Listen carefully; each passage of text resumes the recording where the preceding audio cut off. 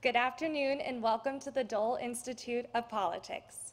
My name is Jessica Geiger and I am a member of the Dole Institute's Student Advisory Board, the official student group of the Institute. The Student Advisory Board is a bipartisan group whose members can access many great opportunities through their involvement. If you are a student and would like to join, please contact, contact us by emailing dolesab at ku.edu. After the presentation, we will have some time for questions. If you have a question, please raise your hand and a student worker with a microphone will come to you. Please stand if you are able and ask just one brief question. If you have difficult, difficulty hearing during the program, please alert one of our staff members or student volunteers who will assist you. Before we begin, I would like to remind you to please turn off your cell phones. Now, please join me in welcoming Senior Associate Director, Dr. Barbara Ballard.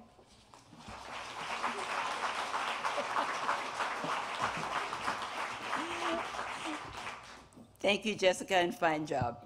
Uh, good afternoon, and welcome to the Dole Institute of Politics for the Elizabeth Dole Women in Leadership Lecture with Representative Sharice Davids. Also joining us tonight, or this afternoon, as an honored guest is Reggie Robinson, our Vice Chancellor for Student Affairs. He looks surprised. Please stand.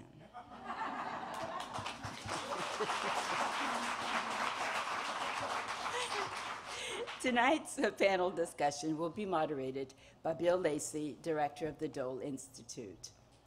We are pleased this evening to host Representative Sharice Davids.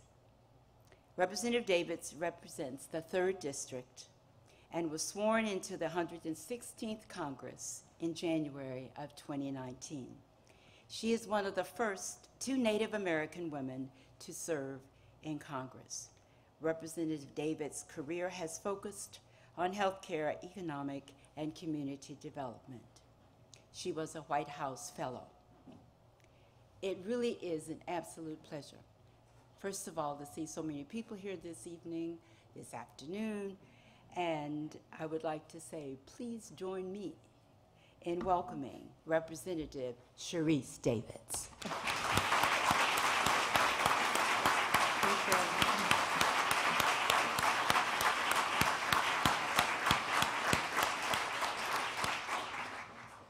Congresswoman, thanks for uh, coming to the Dole Institute. Welcome to the Dole Institute in KU. Oh, thank you. I'm, exci- I'm really excited to be here.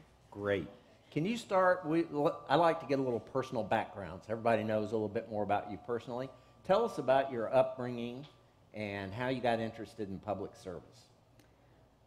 Um, I think without even realizing it, I probably got interested in public service because my, my mom was in the Army for 20 years. Uh, she served in the Army from before I was born until after I got out of high school and um, there's actually a lot of people in my family who are who are veterans, and uh, I think it it just is kind of gets ingrained in you um, when you're when you're part of a military family. Um, I my, we traveled all over. My mom used to joke that uh, she joined the army and thought she would see the world. We mostly saw Kansas and Missouri. Um, so she spent a little bit of time. We were out at Fort Riley. Uh, we, we spent a little bit of time at um, Fort Leonard Wood. She was a drill sergeant there. I've got the push ups to prove it. Um, and, and then she retired while she was stationed at, at Fort Leavenworth. And so I, I graduated from Leavenworth High School and uh, went on to, uh, I'm a first generation college student, or former first generation college student. My mom got her bachelor's degree uh, a few years, about three years ago. And um, so I, I kind of took a pretty windy route. Uh, started off with an associate's at Johnson County Community College. I did go to KU for a little while. Uh, and then I got my bachelor's at UMKC.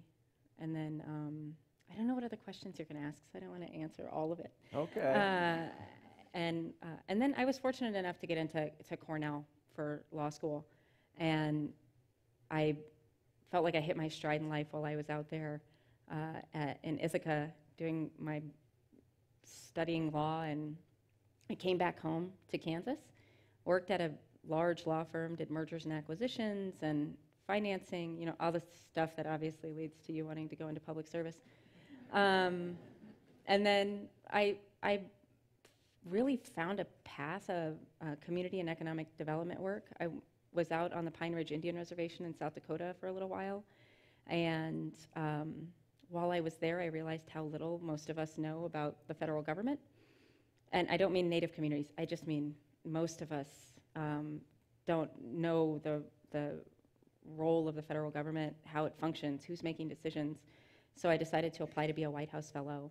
And I had the chance to spend a year at the Department of Transportation uh, at the end of the Obama administration and the beginning of the current administration.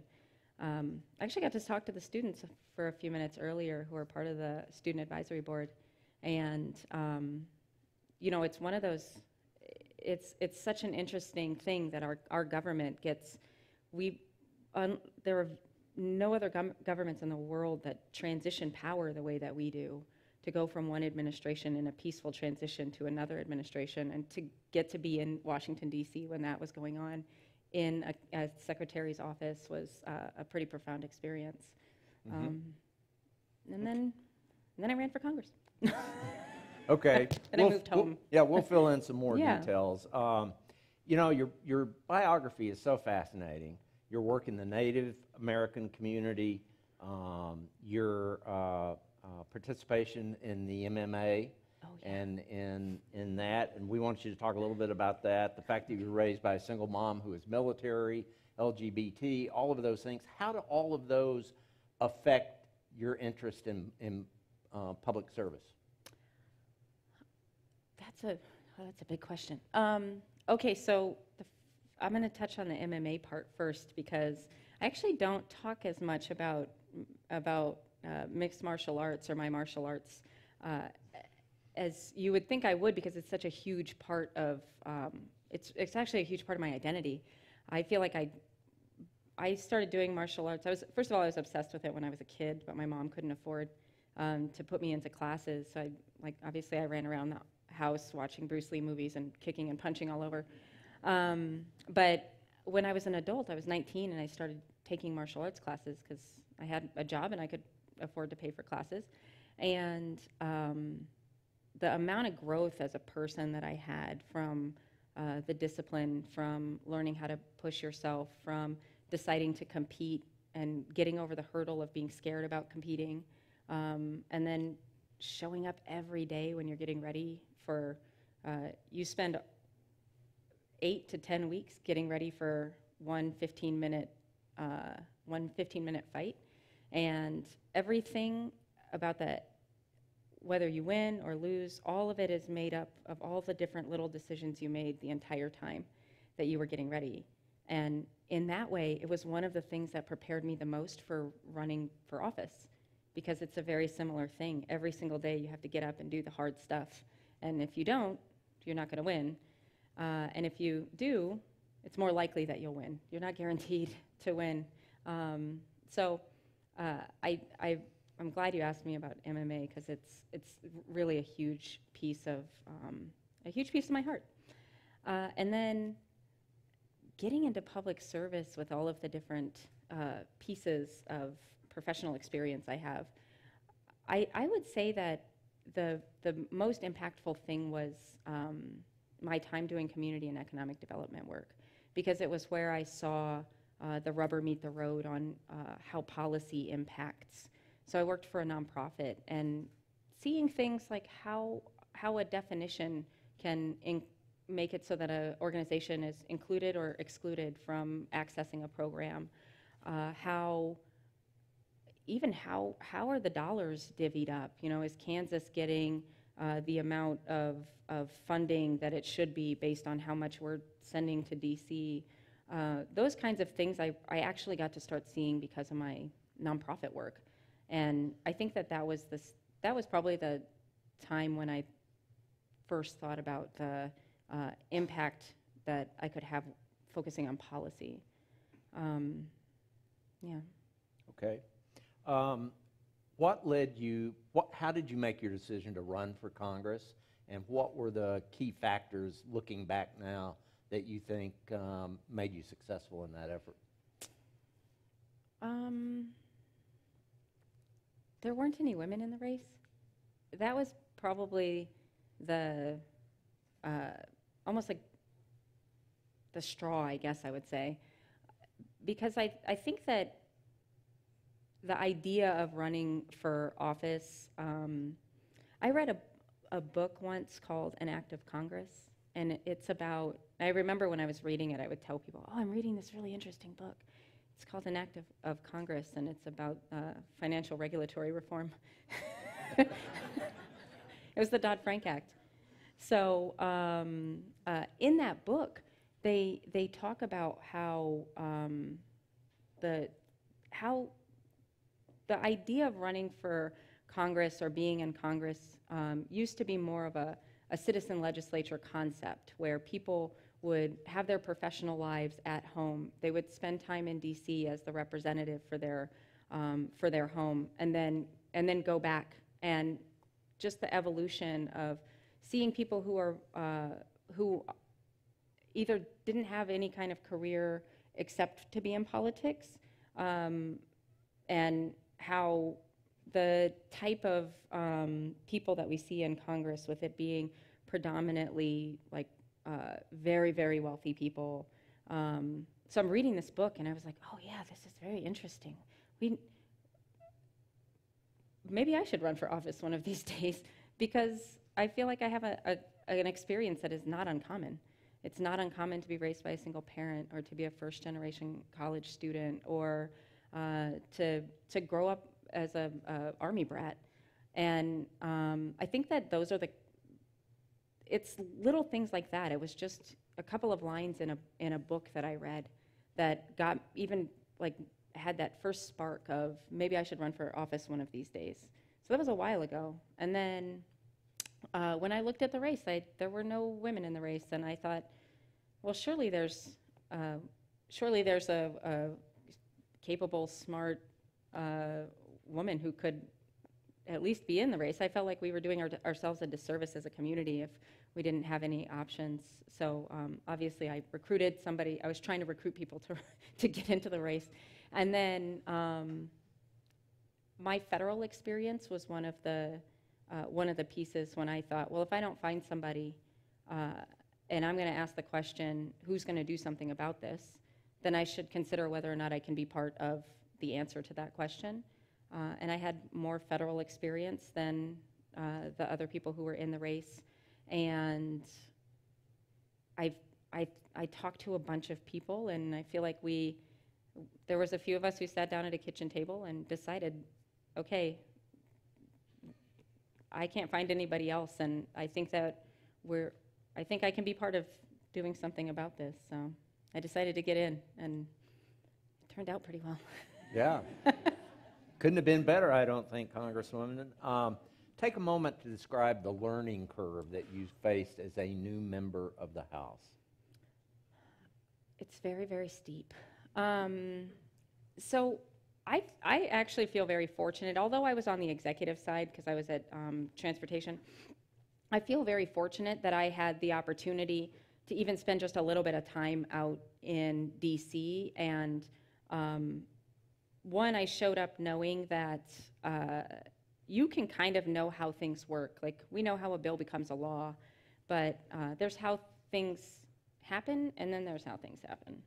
So one of the learning curves is just getting a feel for how do all the like how do all the committees interact with each other what do you do when you have a massive piece of legislation and uh, four committees have jurisdiction over it it turns out uh, dc is a very hierarchical place surprise surprise um, and as a as the freshman member from kansas a lot of my learning curve has been figuring out who's working on key pieces of legislation uh, who's been doing that for a really long time? Um, how, how, how do decisions get made in this institution? The Congress has been it building up for hundreds of years, and um, I take it very seriously that I have to really understand the fundamentals and the foundation um, to be able to become an effective legislator. And it's a it's a lot. There are 20 committees. Um, it's also a lot learning how the um, how do the uh, Democrats and Republicans come together on which issues and start to push things forward. Uh, It's also hard to remember all 434 of my, uh, of my colleagues, so that's one of the piece. And then you have to build out a whole team. So when you're running, you have a team who's helping you get elected, but uh, there's running for office and then there's uh, being the representative. And so we had to staff up. We have two district offices, one in Johnson County, one in Wyandotte County. Um, and it's still the federal government, so you have to figure out how to navigate the bureaucracy of getting an office open. Um, and all our whole team is learning uh, all of these things as we're kind of building the plane as we're flying it. Which maybe I should make that joke as a part of the aviation subcommittee. Okay, um, you seem to be, from, from what I've read and heard, um, more centrist than some of your colleagues, uh, especially new colleagues in the House Democratic Caucus. And I know you've joined the New Democratic Coalition. What are the key principles of that group? Yeah, the New Dems, well, so it's uh, interesting because I just got to spend a bit of time with some folks who are part of the New Dem coalition, uh, talking about uh, a few different issues. Uh, Healthcare is a huge, it's a huge issue, and the New Dems are taking that very seriously. Um, so some of it has to do with the fact that the issues that they're focusing on, uh, climate issues is another one, workforce development is another one, and infrastructure. And uh, at some point, I'm sure I'll like stand up and start waving my arms out of excitement for infrastructure. Um, but some of it has to do with that. What, what are the things that, that the New Dem uh, or New Democrat uh, coalition is focusing on? Um, but the, I guess the framework piece is probably the part that uh, attracted me the most to the to that caucus, and it's because um, they're really interested in getting stuff done. And I consider myself to be a very pragmatic person. Um, and I often say I wouldn't, I wouldn't have seen the success in my career uh, that I've had if I, if I wasn't pragmatic. Uh, you know, that means we have to sometimes do things either that we don't want to do, getting up super early, studying late into the night, do, working multiple jobs. Um, also, I can't I can't solve every single problem, and I can't be and and I don't think that uh, being the um, it's just not in my personality type to be the person who is like uh, the most I don't know if aggressive is the right word, but it's something like that. Like I want to I want to figure out how do what do you care about? What do you care about? What do I care about? Okay, where can we meet? and how can we get something done from that? And the New Dem Coalition really does a lot of that. We bring in um, speakers. This is another piece that they do that's really helpful. They help educate the members in the caucus about. Um, we'll have a panel of people who have uh, three different views on how we address one specific uh, policy issue, and um, I'm not sure. I'm not sure how the other caucuses work, but the fact that we have multiple ideas and views um, in front of us from the experts is something that I think it leads us to better policy. Uh, because we're not going to agree on every single thing, but there's no way we know if we're, do- we're coming up with the best policy if we only know one point of view. And uh, the New Dems is really helps with that. So. Okay. Um, and maybe you, you, I think you kind of referenced this uh, in a couple of, of answers. Uh, but what is your policy focus? Now, if you want to talk about infrastructure, it's a great time. Um, yeah, so, well, the first thing is that I'll bring up, and I, I kind of mentioned healthcare as a, a top issue. It, it's the thing that I didn't realize this when I started my campaign, but healthcare over the course of that campaign, it was very clearly the number one issue that people were concerned about. It was, it came up, it didn't matter if I was talking to uh, younger people, more experienced people.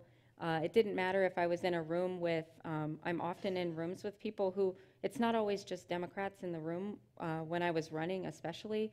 Uh, and it didn't, it, none of that mattered. It didn't matter what the socioeconomic makeup of the group, the party makeup, the gender makeup. Everybody was either concerned about the cost, concerned about deductibles, or not having insurance, or wanting to start a business and not being, not feeling like they could. Um, so that's been a pretty big uh, focus area. We're constantly looking for bills from to support. I've co-sponsored like 25. Uh, it's probably a couple more than that. Um, healthcare related bills. And then personally, I'm very interested in um, figuring out ways to increase access to mental and behavioral health services. Um, and then infrastructure, transportation and infrastructure is my, um, I call myself a born again transportation enthusiast because the, when I was at the Department of Transportation, the thing that I, the thing that really struck me was that our infrastructure and transportation systems, they touch every aspect of our lives. How do we get to work or our, our places of worship, get our kids to school, get to healthcare? Uh, all of these different things are impacted by the, by the policies that we're putting forward. Uh, it also touches on issues of climate change. It touches on issues of um, like equity in our society and making sure that uh, everybody can access those opportunities. And if we're really intentional about it, the right now we're we're operating on the infrastructure that our grandparents built, and uh, we have the opportunity right now to build an infrastructure that will help our grandchildren thrive in their jobs, in their um, family lives, and I think about that a lot in the in the policies that we're that we're working on, and um, and then I would say the other, it's not it's not quite a policy uh, priority. It it's more of an accessibility priority. So I know I already mentioned we have two offices. Uh, we have one in Wyandotte and one in Johnson, and um, I opened a Wyandotte County office because uh, you know, the, I, I took over my predecessor's office for continuity. There are lots of people who don't know that their member of Congress changed, but they know that's the place they go for federal stuff. And, um, and so I, the phone number is the same, the address is the same. And I wanted people to not, um, to, to not have to figure out, well, where's the office now? And um, who's, who's Davids? And, uh, and so, so accessibility, I think, is really important. The people in Wyandotte, um, the entire county, shouldn't have to drive all the way to Overland Park. And, um, and then we're doing pop-up office hours. So we, we go out into the um, places, you know, folks in like Gardner or Spring Hill shouldn't have to drive all the way up to Overland Park to get services from their member of Congress. And um, we help people with disability and social security. Uh, the constituent services piece is super important to our office. In fact, we built out the, uh, the district offices before we finished, um, before we finished all of the hiring for the uh, DC office, uh, because we wanted to make sure that we got the constituent services piece right. Because for a freshman member, that's a place where you can immediately be a, a positive impact for your uh, constituents. What does it mean, Congresswoman, to be, to you, to be one of the first Native American women elected to the House?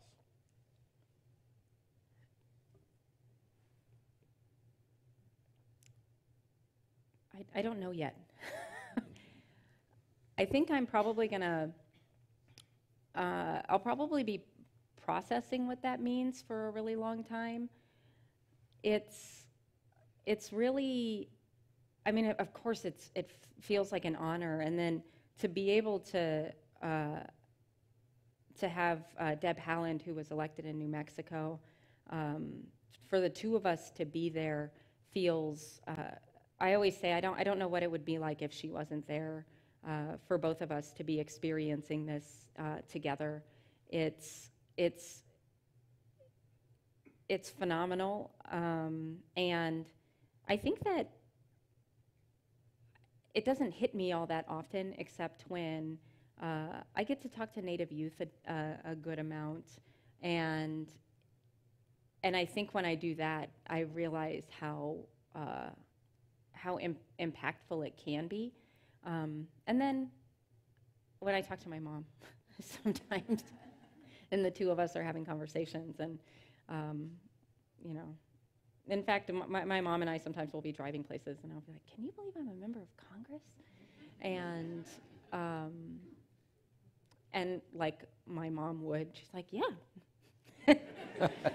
uh, but it's it it's just um, it's, it's going to take me a long time, I think, to figure out like the emotional impact of it. Um, but I, I feel very fortunate. And also, I will say this too. I'm really, I, one of the things that I remember, it was probably a couple of weeks after the election, and I was going around and meeting people in DC because you go and do the orientation process pretty quickly. And I would be introducing myself to people. Hi, I'm Sharice, uh, third, third district in Kansas. And they, Kansas? And then, um, and, and I just remember thinking, how awesome is it that, like, our state got to be part of this historic thing? We got to be part of uh, electing the first Native American woman to Congress. And that, uh, I don't know why, but I think it's because when I went to Cornell for law school, a lot of people just had no idea, they don't know anything about Kansas. And I remember the, the number of people that would be like, oh, what's that like? and I, o- my first question is always, have you been there? And usually, if, if somebody's like, what's that like? Um, seriously, somebody asked me one time if we had like dirt roads all over. I, and um, and I was like, you should come visit. So I'm just always asking people, come come come visit Kansas because um, if you're wondering what is that like in that way, then you probably have not visited and not had the chance to get to know or meet people here or see the place. And um, I think that makes I think it makes a huge impact on um, uh, on people when they get the chance to come visit because we if un, unless they've been here before, I guarantee people that they're. I always say like your your expectations will be exceeded. You should come see us. Okay. Um, Could you talk a little bit about the grind it is to serve in the House and the travel and the daily schedule and all of that and, and, and how you cope with that? Uh, that's a good word, the grind. Um, so it's really important to have a really good team around me, uh, helping with all, helping with all kinds of things. Uh, part of how I cope with it is that they uh, they really make sure that I, because I'll just work and work and work. Um, I I'll I forget to eat sometimes, so you know they'll they have snacks all the time. They're like, here's a banana. Um, it's the reason that it's such a grind is that there's so much work to be done, and the days start. You know, we'll start at eight o'clock with meetings, and we'll do a bunch of back-to-back-to-back meetings. Then you have to run and vote. This is just while you're in DC. Then you run and vote, uh, come back. There's probably, um, I mean, then we have to. Uh, I'm very concerned always about making sure that we allot enough time for uh, legislative, uh, our legislative agenda, what's going on for the week, what are our long-term goals, and then, and then there's there's so many things going on. It's really, well, I'll say one of the most disappointing things about this is there's always so many cool things, and I only get to go to a couple of them.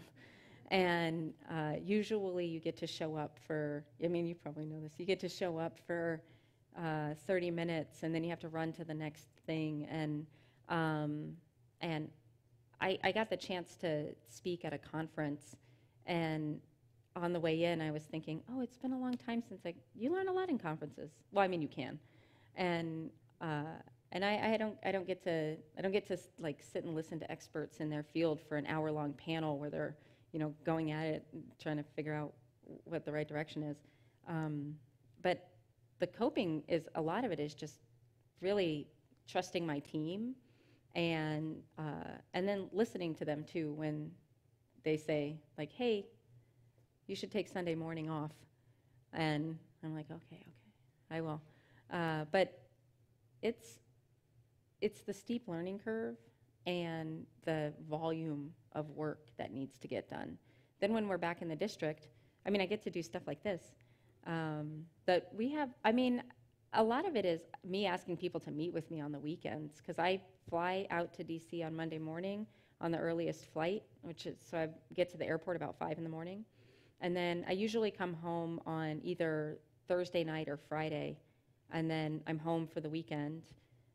We do as you know either events or constituent meetings, and then I fly back on Monday morning, and um, so it just it it means that when I'm at home in the district, we have to really maximize the amount of time that I get to see constituents.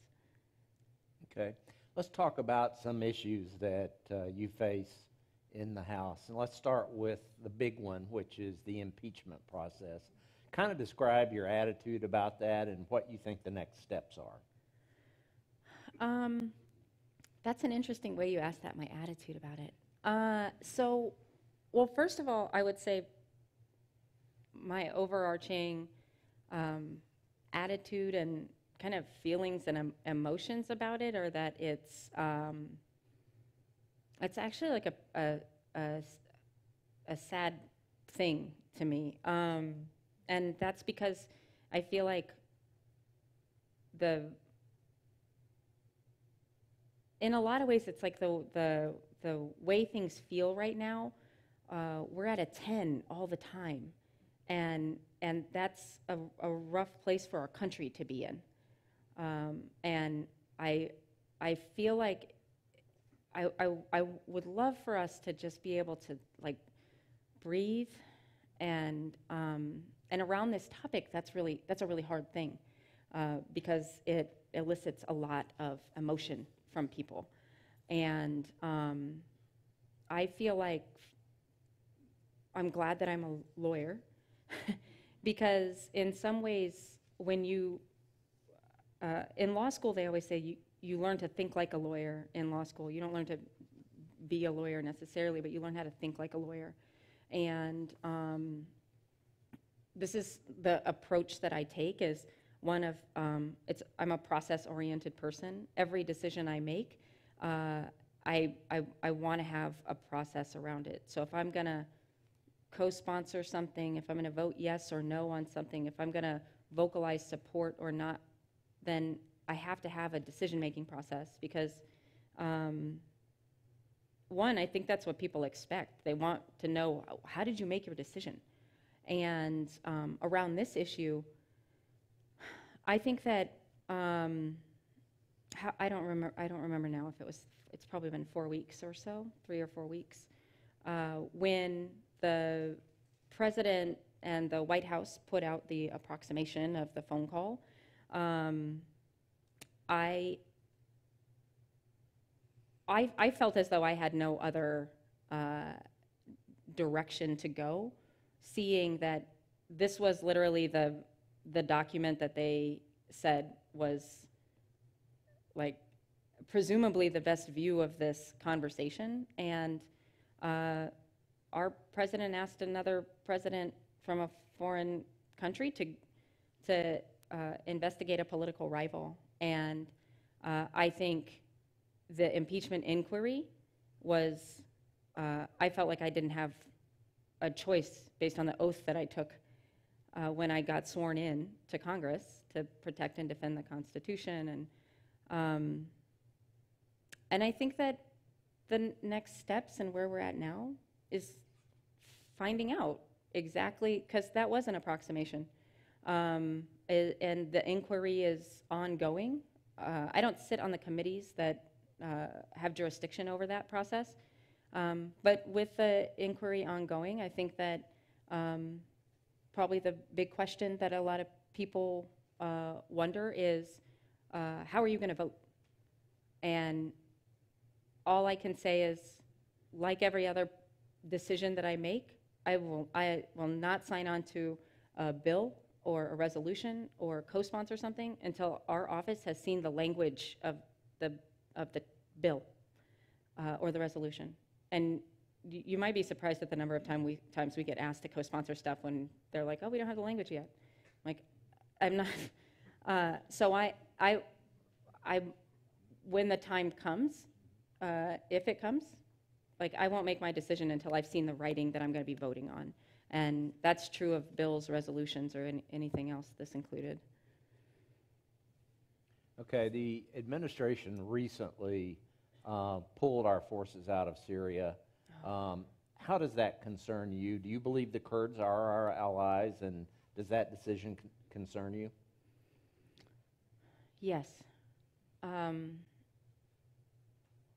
I was really concerned uh, almost immediately, and not because I, uh, uh, I don't claim any expertise in foreign affairs, but I immediately started to. Um, I mean, I know I, I probably know more than uh, a layperson who's not paying it, who's not really like that's not the thing they're paying attention to. Um, but we did a lot of uh, a lot of checking. We uh, reached out to some experts, um, and uh, yes, I, the the Kurds uh, stood by us and fought as allies ag- in the efforts against ISIS, and um, I was one of the people who uh, signed on and then voted to uh, condemn the decision to to pull forces out of Syria um, because I because it was unplanned and when I say that I don't just mean there hadn't been a future plan about just pulling the troops out. There also was not a future plan about what we do if it, the region uh, begins to destabilize. And my I have two big concerns. One is the long-term effect of um, in a lot of ways, breaking our word to an ally. And then the other is uh, that this makes it that much more likely that there will be a reemergence of, uh, of ISIS. And that is a very dangerous thing. Okay. Uh, Politico had this headline on Friday. I'm just curious about your thoughts on this. The headline was Warren and Sanders race to outleft each other, and moderates are terrified. now, are you concerned about the possibility that the Democratic nominee may be so far to the left that it gets in the way of defeating the president? Uh, well, as soon as you said Politico headline, I was like, oh, where are we going with this? um, I hadn't seen that headline before. Two, I always say this two things. Um, so, first, I actually I'm glad you asked the question the way you did. Am I wor- am I scared? I think you said, "Am I? Are you afraid that they're gonna?" So, I think too many decisions get made out of a place of fear right now. There are a lot of people who are are are scared, and I think there's a lot of people who are completely justified in the fear that they have about um, a lot of different things. But one of the one of the places where I I think that um, it's so important for me as a decision maker in the House is that I'm able to just stop and breathe and not um, and not operate from a place of fear or frustration uh, because that inhibits my ability to, I think, to process the information that's coming in. Um, so I'm not afraid. I think that as it relates to the, the, the presidential election in general, uh, well, first, everybody at the very beginning would ask me, who are you going to endorse in the presidential? And um, I would always say, well, I checked with my mom. She's not running, so I don't have to wade into it. Um, I, act, I think that, I think as it relates to, to the, the presidential, that's such a different kind of politics that they're, um, that they're concerned about because it's a national race. And as a member of the House, I have the lucky, I, I mean, it, we're the closest to the constituents that we have. When you're uh, a, a statewide, like a senator, your, your constituency is an entire state. For me, it's, it's the third district. And the third district will make their, and, and all of Kansas will make their decision about which presidential candidate uh, they support in the in the primary, and uh, I hope that I hope that the Democratic Party listens when Kansas makes their opinion about that known, because I think that our state is uh, we're we're oftentimes a number of years ahead of the of where the country is going. Um, we, I would say, saw some more extreme policies for a little while, and we're moving back towards some pragma- pragmatic, uh, some pragmatic elected officials, and uh, and I, I think that the country would do much better to look toward look toward Kansas as a um, kind of a a leader in in what direction the the party should be going. Mm-hmm. Mm-hmm. But I'm not scared. I'm not scared. Yeah.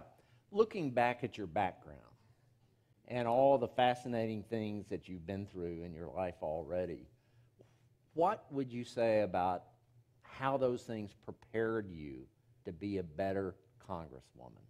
Mm. I think a lot of my experiences helped me learn how to listen better. And some of that is my, we didn't even get into the 150 jobs I had during my eight years getting my undergrad. But um, I spent a lot of time, I worked at Sonic for like five years. Um, and yes, I roller skated. uh, and um, I think some of the some of the skills that I have that help in the role that I have right now actually came from my time working in the service industry, and it's because uh, a lot of times you if as long as you don't come into the into an interaction with a with a customer um, assuming that you're already right and they're already wrong you can have a productive conversation and everybody can leave feeling much better. Um, and I think that that that kind of like service mindset, even though it was at like Sonic and the Marriott, and you know, I was a bartender, and um, tho- that really helped prepare me. And then I think that in the other, like working at a big law firm, prepared me to work long hours um, and to be very detail oriented. Um, you have to be very detail oriented uh, for this. Well, I do. Uh, every member is different. And then um, I think it also helped me interact with a lot of people with different experiences. And so did my mom being in the Army. You know, you show up to a new school when you're like 12, and uh, everybody wants to be liked. Nobody wants to show up to a new school and, and not make friends. And uh, I think that helped me with recognizing that everybody shows up and doesn't, nobody wants to be disliked. So you show up, and um, one of the things that I always try to do, and I ask our, our team in our office, is uh, when someone walks through the door, uh, I want them to feel like they're in the right place even if we're not, even if we don't agree on everything, even if it turns out the issue that they're facing is a state issue and we should, you know, like help them get in touch with somebody uh, in the state government. But I, but I want to make sure that people show up and they feel like, okay, I'm supposed to be here. And I often tell people when they come to visit us in DC, uh, this building, I mean, those, those build, it's like intimidating the first time you go to a federal building in DC. They're massive, they're old, it's historic, the decisions that have been made there. Um, but that building is as much anybody, it's your building as much as it is mine, as much as it is anybody else um, uh, here. And I think that having that mindset probably comes from showing up places and being like, I hope some, I hope I can make a couple of friends here on the first day. Um, so those are probably the uh, a good smattering of how the experience of experiences have influenced my ability to do this job. Mhm. Uh, You've referenced this today. I've seen it in some of your comments in the media, the importance of having some degree of bipartisanship. How important is that to you, and what does Bob Dole's record say to you about that as well? I think, it- I mean, I think lasting policy has to be bi- bi- uh, bipartisan. Um, It has to include um, as, as many people coming together as possible because uh, otherwise you end up in a situation of um, one group of people has power and the other, and then when they pass a bunch of policies, they leave and the other group has power, then they're going to undo those. And, and I think that if we want, if what we actually want is lasting policy, then it has, it has to be bi- bipartisan. Um, and I think, I think that we have, um, we have, like a, Bob Dole is an amazing example of, um, like even even now, people will talk about, you know, oh, remember, and they'll name a, just a couple of people who have impacted this whole, the whole country, who have impacted the country in a positive way uh, because of their ability to reach across the aisle, because of their ability to um, find those places where uh, folks can come together and agree on uh, on policy. And uh, Bob Dole is always one of the people that that folks bring up, and um, I mean it's a it's a point of pride for me. I was just saying earlier that I get the I got to go to um, hi the ceremony for his uh, um, uh, promotion. So he was uh, uh, promoted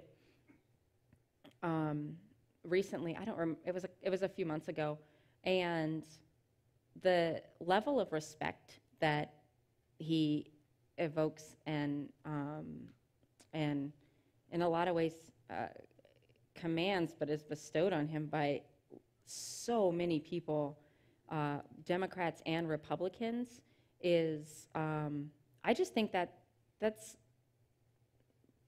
it's one of the reasons I, I'm excited that we have the Dole Institute here in Kansas. I know it doesn't get to be in the district I represent, but um, or I don't get to represent the district that it's in, but um, it's it, it's it's one of those things where uh, I just feel very fortunate to, um, in a little way, because I'm a, in politics in Kansas, I get to be associated even with the with that level of respect that people have for for a truly bipartisan and um, consensus builder.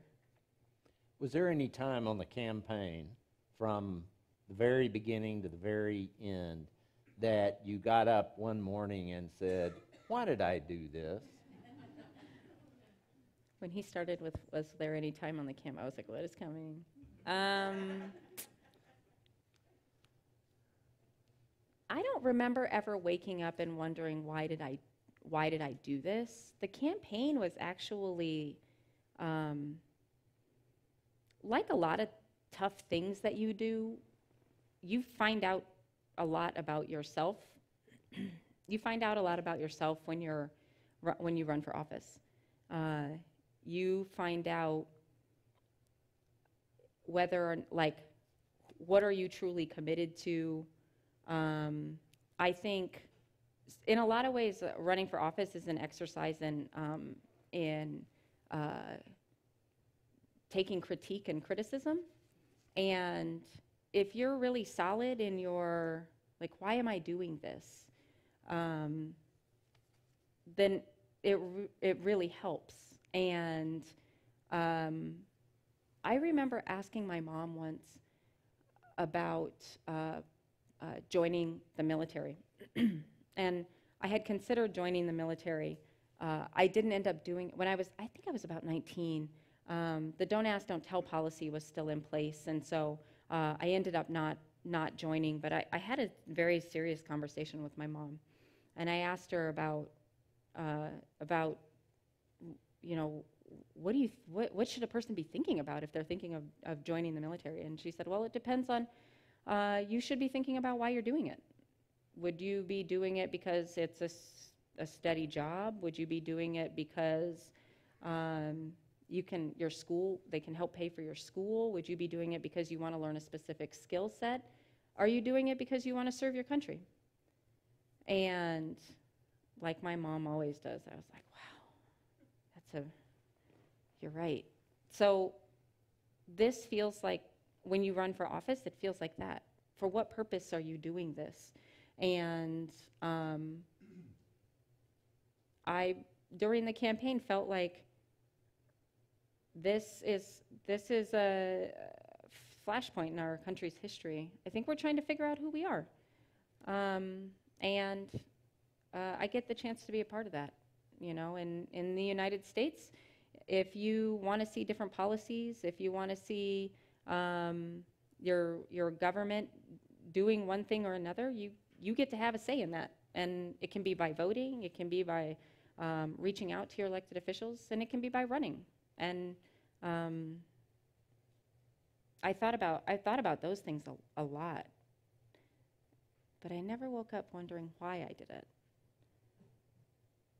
That's probably a good thing. Yeah. Yeah.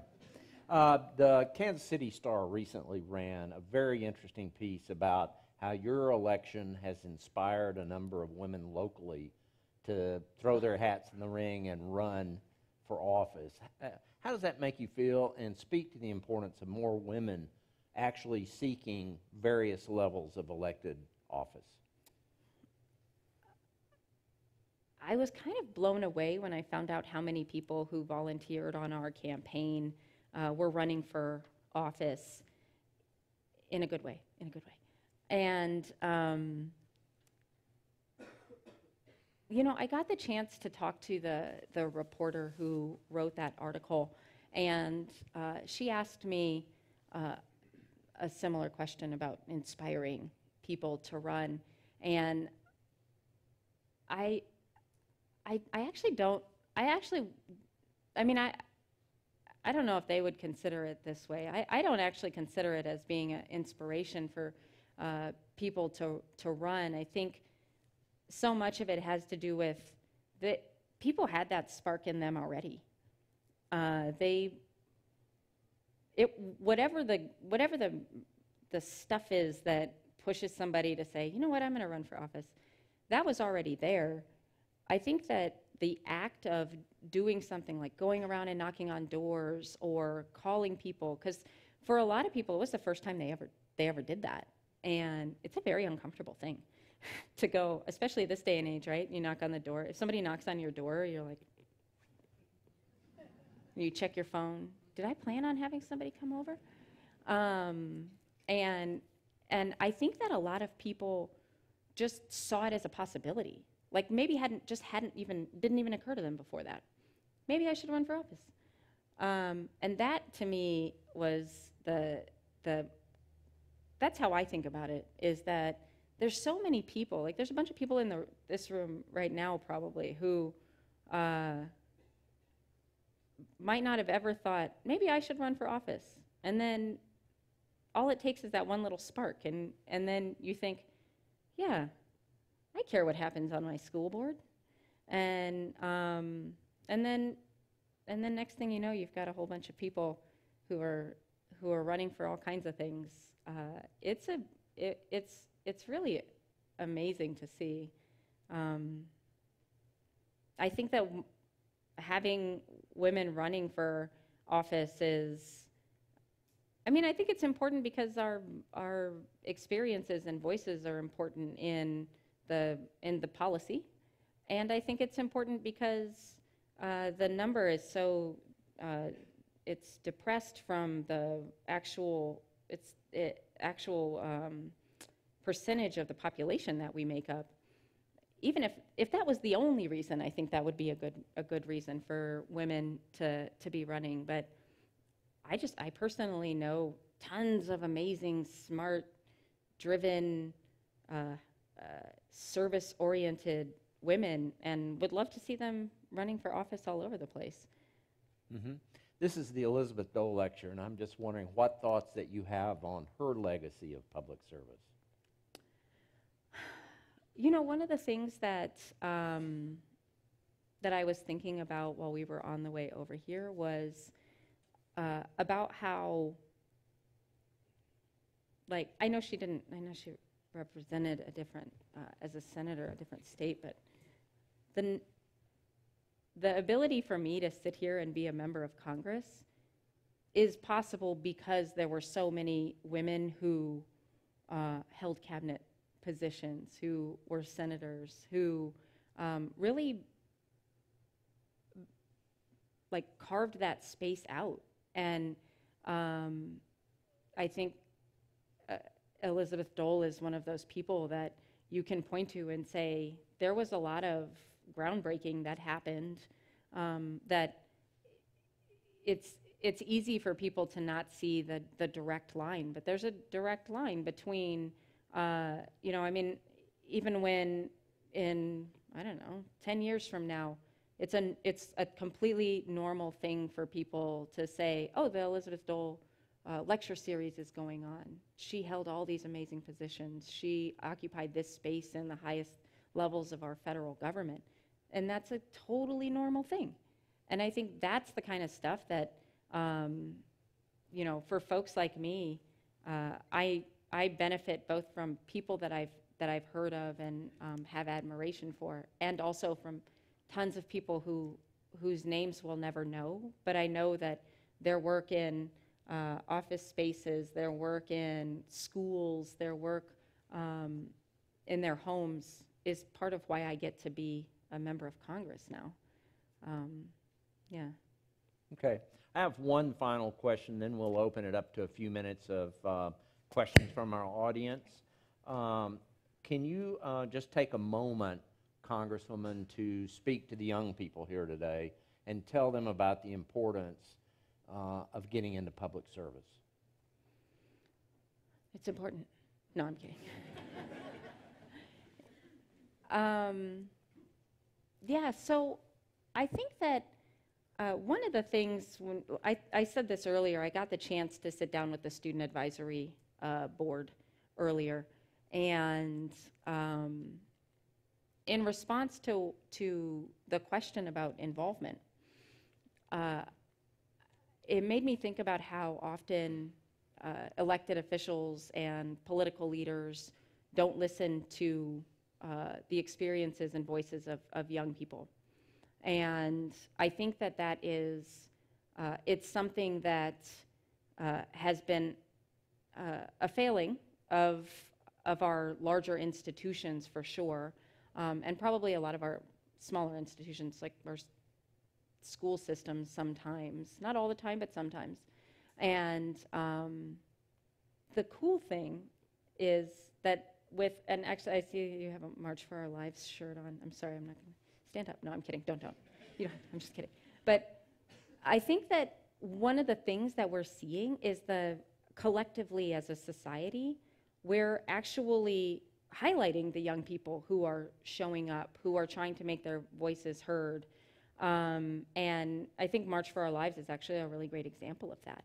It's an example of where uh, the media was covering the work that they were doing, and um, and that's a that's a great example. It's not the only example, and I think that those kinds of um, those kinds of movements from young people help raise the awareness of elected officials and people in decision-making positions that uh, there's an experience here that we need to be paying attention to and listening to.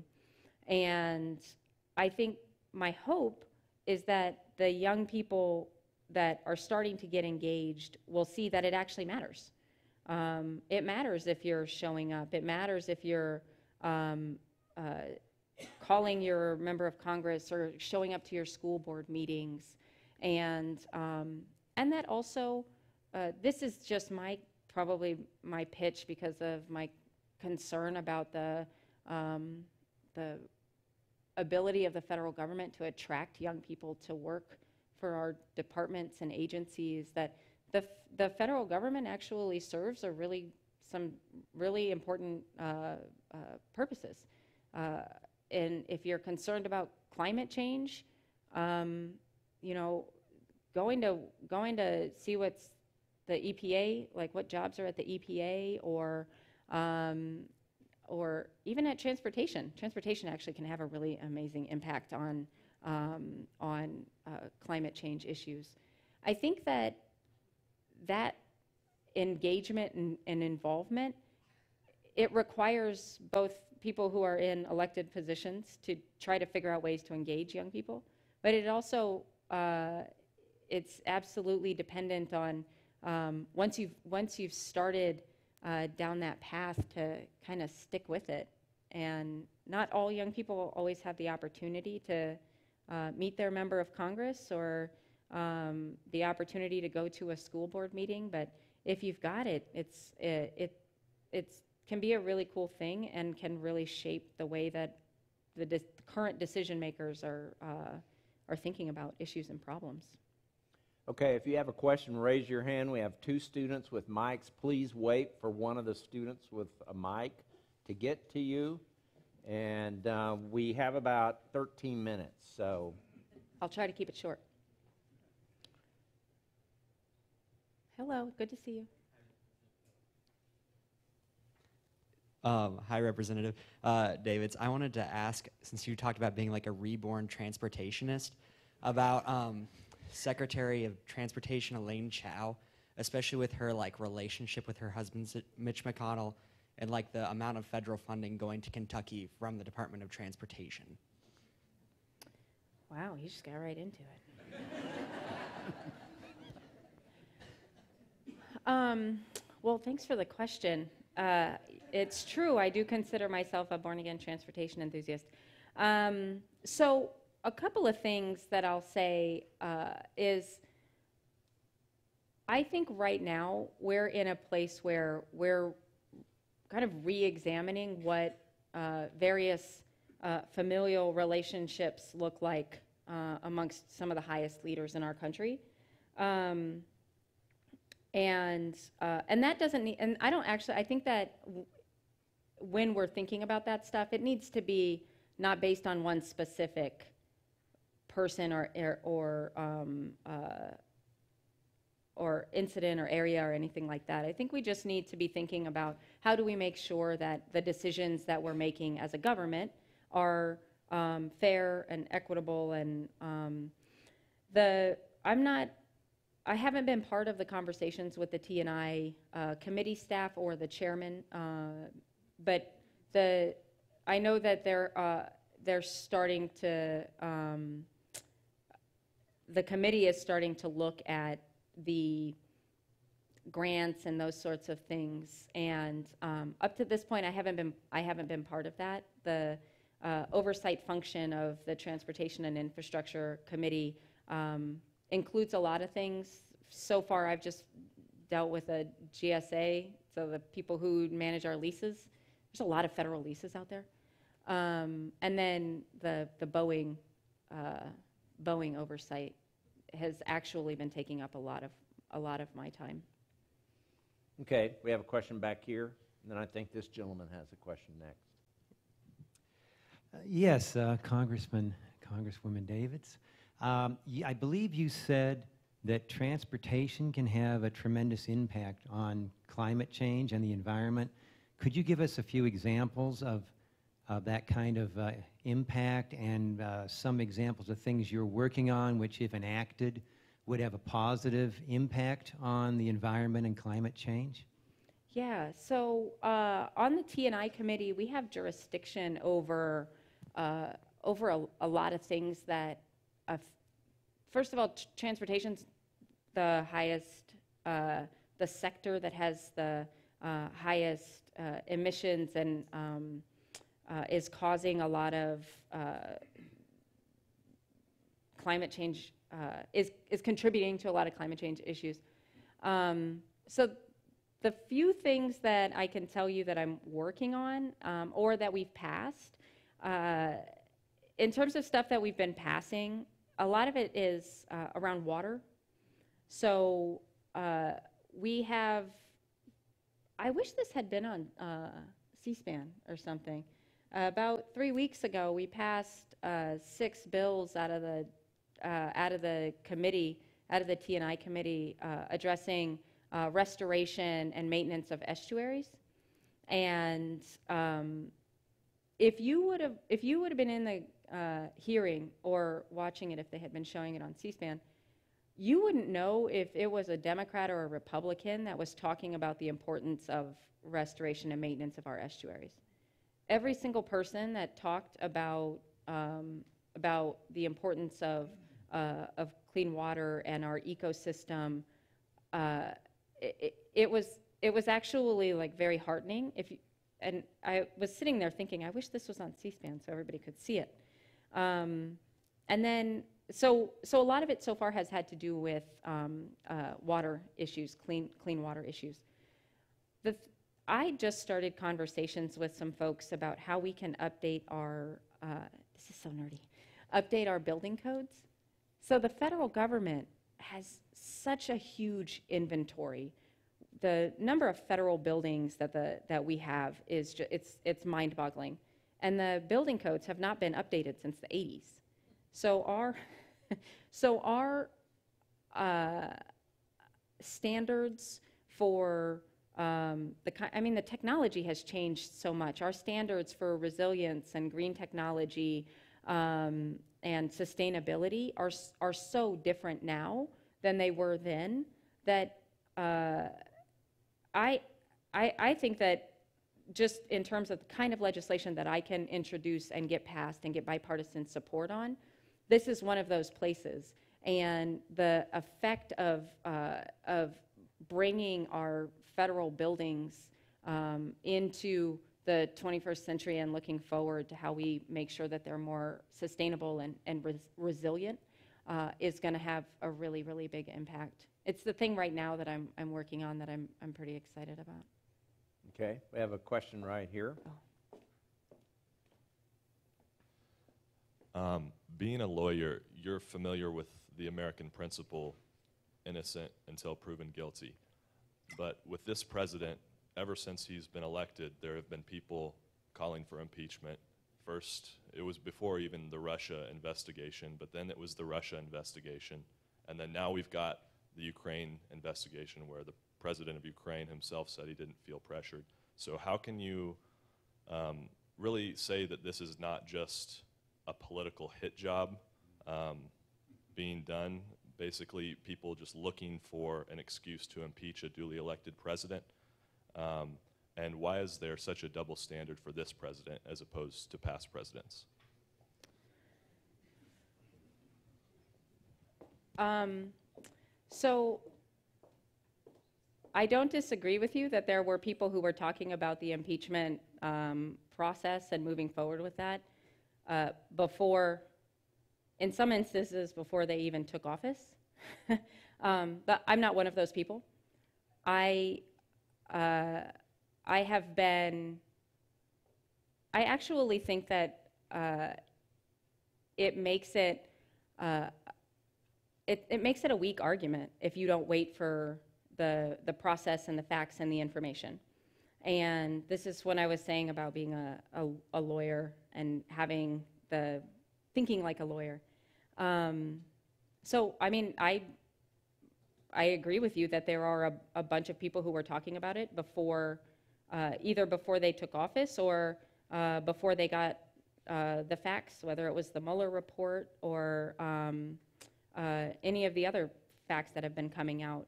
Uh, I can't speak for my colleagues and how they make decisions, um, and that's on the Democrat or Republican side because there's going to be people who agree or disagree with uh, with all 435 of us.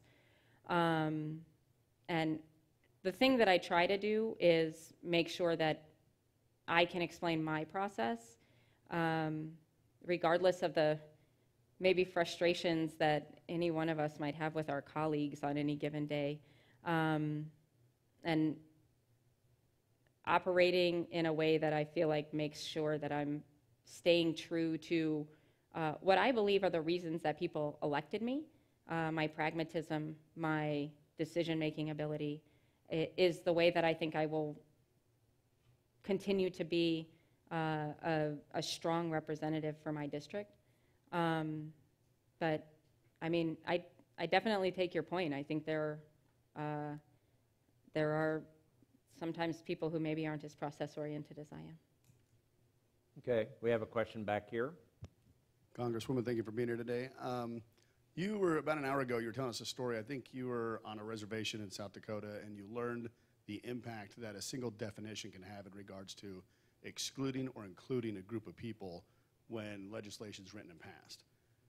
Did that uh, alter your idea of, of the role of government in any way, or change how you go about the process? Go- When you say role of government, what are you thinking about? Well, for me personally, um, so I'm in the financial world, and every time a law is passed, we kind of do a happy dance because we know we're going to make more money. Um, and so when you're talking about, you saw a definition be written that excluded a group of people or might have included a group of people. Did that make you realize? Did that make you think in any way that how difficult it is to think forward and to write that legislation in a way that is going to have the least amount of unintended consequences? Or, you know, did it make you think maybe we should, you know, be a little more careful as to how much legislation we pass because there, there's no way to counter these unintended Okay. consequences? Yeah, I see what you're saying.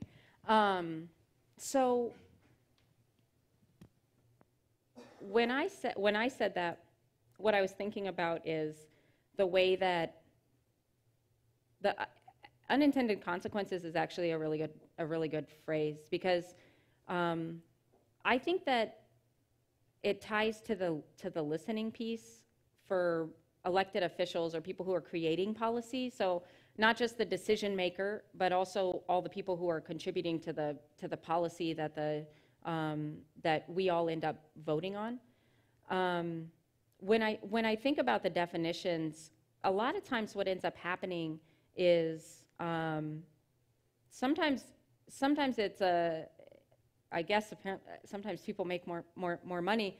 But I, what I was thinking about is that uh, sometimes programs or um, services are uh, clearly intended to be for um, the use of a, a specific, um, you know, whether it's aff- affordable housing or um, uh, in, so I actually worked on a couple of infrastructure uh, projects through the USDA. They have a rural development um, program. And what would end up happening is uh, there would be like a nonprofit doing work, and the definition was limited to only uh, county governments or state governments could access the um, uh, low-cost financing or something. And um, in very rural areas, sometimes that's that's not uh, that's just not possible because a county government might not have the resources to do a project, but a coalition of uh, the county government and a nonprofit and somebody else might be able to. Um, and so that's it's those are the kinds of things that I was thinking more about. Um, and then now that I've been doing this, the the biggest thing I've seen is that I I, I have to try to figure out how, who do I talk to to avoid those unintended consequences, and um, that that part is actually the hardest part because you don't know what you don't know, and um, rules and regulations often impact people in ways uh, uh, second and third order impacts that that no one even thought about. Okay, well, we're out of time, but I want to um, thank you all for coming today, and please join me in thanking the Congresswoman for our, no, we're out of time, I'm sorry. Thank you very much for joining us Thank you. today.